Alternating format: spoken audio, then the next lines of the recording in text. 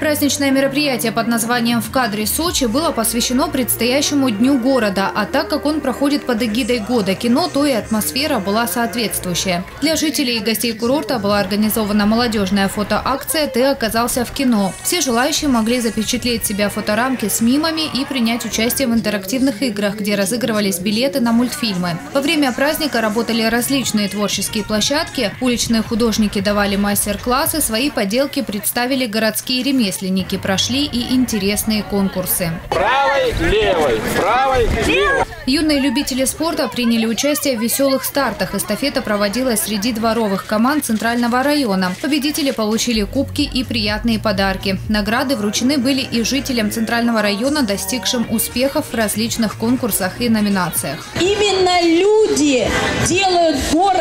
необыкновенным, делают город незабываемым, делают город гостеприимным, делают город, который всем хочется возвращаться.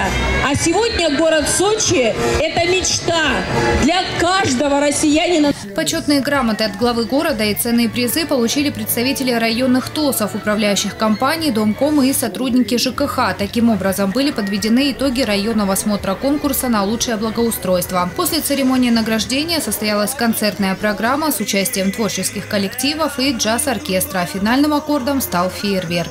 Татьяна Говоркова, Владимир Киселев, телекомпания «ФКТ».